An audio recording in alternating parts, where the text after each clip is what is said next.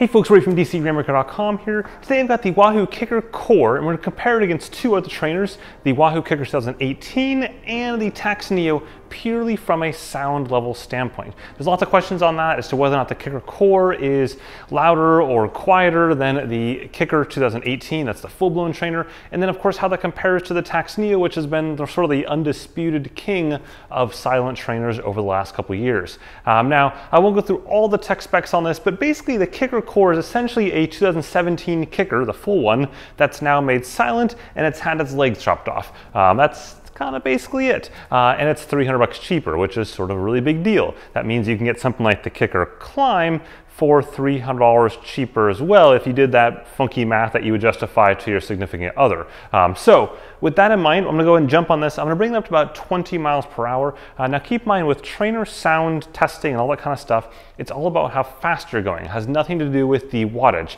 I could do a thousand watts or I could do 50 watts. As long as I'm doing it the same miles per hour, the same speed, kilometers per hour, they will be effectively the same. Now I'm not gonna do a decibel reading on this. I'm not gonna do that for a couple different reasons. Uh, number one is that the decibel readings are really easy to manipulate and not that people are doing that on purpose. It's just that it's easy to have different environments for different things. In this more echoey location, it's gonna show something very different than uh, your living room. And where I put that decibel meter also will differ. If I put it behind the bike, that'll be different than if I put it on the side of the bike. Uh, and of course, each trainer, if I measure in different places, is gonna be different as well. So until I have like a setup I can make exactly the same every single time, it's sort of useless showing you that. Instead, I wanna actually just simply show you the audio. Now keep in mind I have a lav mic on right now, but I also have up there a mic on top of the camera, and I have another mic in the camera itself. So I'm gonna give you some different perspectives on audio because a lav mic will hide this entire noise. So it's better to go to uh, a mic that's on a camera as opposed to something that's designed to just simply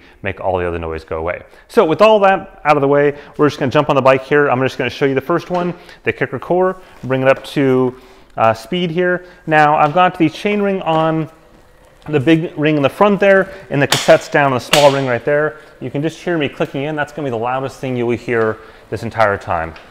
So here we are, 18 miles an hour and 20. I'll let you listen to it for a couple seconds.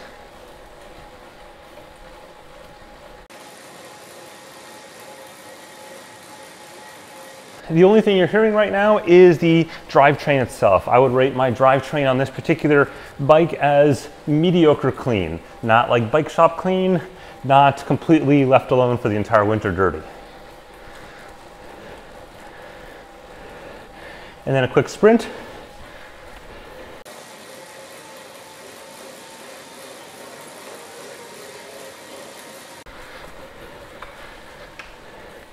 So since my speed didn't change very much, only went to about 24, 25 miles per hour, even though the wattage doubled, there was no real appreciable difference in sound.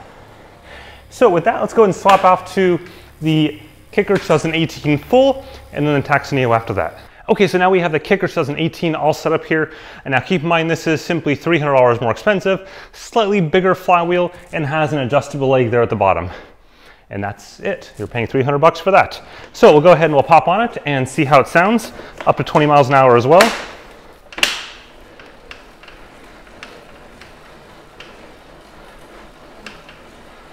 Here we are, 20 miles an hour.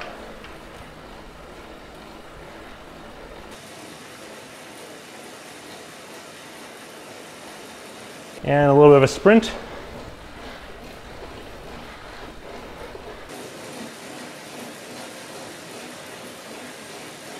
and back to 20 miles an hour.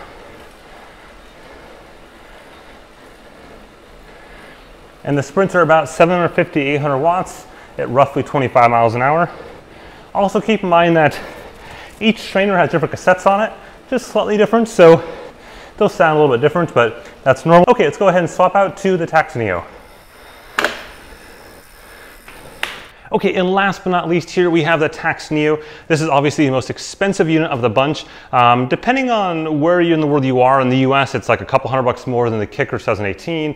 In Europe, it's usually about the same or cheaper. Uh, the main difference between this and the other ones is this uh, can simulate like road feel, like cobblestones and gravel and stuff like that. The Kickr can't. Um, it's also silent like the Kickr. The Kickr comes with a cassette. This one doesn't. The core does not as well. Uh, so there's other differences beyond that in terms of like um, flywheel and stuff like that, but those are the main differences. When it comes to deciding which one has better road feel between the Tacx Neo and the Kickr, it's purely a religious debate. Like you can get two people side by side, they're gonna swear one is better than the other. You can probably put them on the same bike and then swap them blindfolded and they probably won't be able to tell. So with that, we'll go and spin up to 20 miles per hour.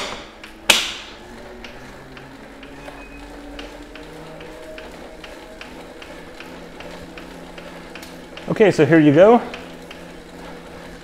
Now you can already hear this has a little bit more of a hum to it than the Kickr does. Not much, just a little bit. And we'll go and do a quick sprint.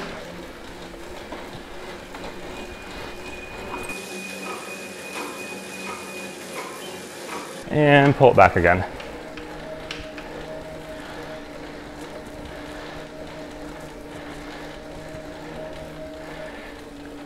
Okay, so which one is the loudest? Well, it kind of depends. In, in some ways, it probably is the Tacx Neo, but keep in mind, up until a month ago, that was considered totally silent. Also, if I go ahead and swap on this fan right here, that's gonna pretty much kill any noise whatsoever of your trainer. And that's one of the things to keep in mind. You're really aiming here to go ahead and remove that like high-pitched whine, that annoying sound of a trainer, not necessarily make it totally silent. I'll go ahead and shut this fan off for now. Okay, so to give you one final listen to all those trainers in a row, I'm gonna start off here with the Kickr Core. And then now we have the Kickr 2018. And then finally the Tacx Neo. One, two, three, one after another again.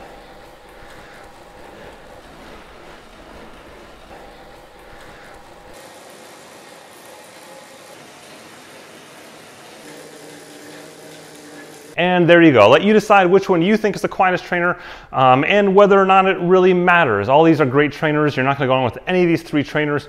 Check out my full in-depth review on all of them down in the links below or the videos up here in the, the doohickey there. You'll find plenty more information about all of them. Expect my entire Wahoo Kickr Core in-depth review to come out sometime in September. Right now, Wahoo's saying they're going to start shipping the Kickr Core on September 12th, 2018. So expect my in-depth review on September 12th, 2018. If you found this interesting, whack that like button at the bottom there as well as the subscribe button. I really appreciate it. Have a good one. Like a diamond, you alone. You cut my heart like glass, just like that. Like a lion, uncontrolled. Your mark is on my back, just like that.